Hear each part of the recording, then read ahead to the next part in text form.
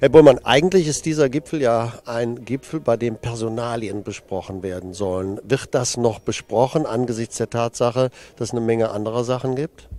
Naja, ich äh, stecke da nicht drin, was die Staats- und Regierungschefs gerne bereden wollen. Ich würde Ihnen empfehlen, dass Sie sich mal mit der Lage in der Europäischen Union auseinandersetzen und erst einmal schauen, was haben wir zu leisten. Posten können warten. Wir müssen erst einmal für die Menschen entscheiden, was muss geleistet werden in der Europäischen Union und dann zu guter Letzt äh, die Entscheidung über Postenfall im Europäischen Parlament. Trotzdem äh, ist das jetzt eine Phase, bei der man äh, eigentlich angenommen hatte, Großbritannien ist schon raus aus der Europäischen Union und jetzt äh, ist es noch nicht so. Das bringt ja unglaubliches äh, Verwirrung, Komplexität hinein. Ja, das ist in der Tat richtig. Die ursprüngliche Idee war, den Neustart der Europäischen Union nach dem Brexit hier in Sibiu zu diskutieren. Nun sind wir aber in einer Situation, wo wir nicht wissen, wie es weitergeht in London und die Briten ja nach wie vor dabei sind und eben auch äh, mitwählen zur Europäischen Union, zum Europäischen Parlament.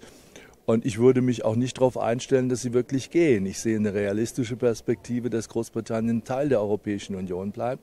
Umso mehr, ich erneuere äh, meine Position hier, die Staats- und Regierungschefs sollten sich ernsthaft mit den Fragen auseinandersetzen, die alle Menschen in der Europäischen Union bewegen. Klimawandel, die Zukunft auch unserer Industriegesellschaft, wie kommen wir in eine Nachhaltigkeitsrevolution, die auch sozial verantwortbar ist, Migrationsfragen. Sie hätten genug zu diskutieren.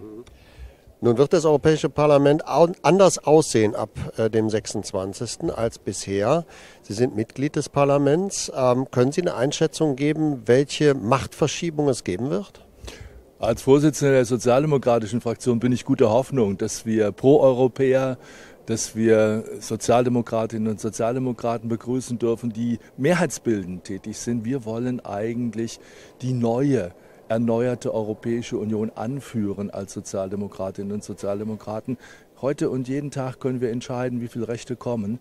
Äh, noch sind einige Tage bis zur Europawahl. Es gilt auch, sich zu stellen und zu argumentieren mit den Wählerinnen und Wählern.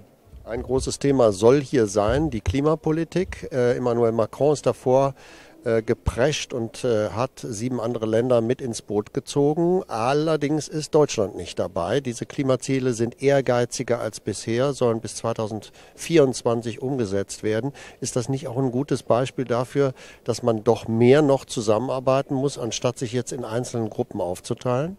Meine Fraktion, die Sozialdemokraten, haben ein erneuertes Programm vorgelegt. Wir wollen, dass die nächsten fünf Jahre der Arbeit der Europäischen Kommission, der Arbeit in der Europäischen Union unter dem Zeichen stehen äh, der Nachhaltigkeitsziele der Vereinten Nationen 2030. Das ist unser sozialdemokratisches Programm. Insofern kann ich nur alle auffordern, dem nachzueifern. Herr Macron macht gerne weitreichende Vorschläge, die dann aber noch nicht ganz abgestimmt sind. Er hat das gesehen mit den Gelbwesten in seinem eigenen Land. Ich glaube, wir brauchen ein Gesamtpaket. Nachhaltigkeit, den Klimawandel bekämpfen, aber auch die soziale Integration in der Europäischen Union fördern. Ich kann nicht gleichzeitig die reichen Steuern streichen und glauben, äh, dass die ärmeren Menschen auf dem Lande die Transformation bezahlen. Wir brauchen ein gutes Gesamtpaket. Wir sind gespannt, Herr Bullmann. Herzlichen Dank. Ich danke Ihnen.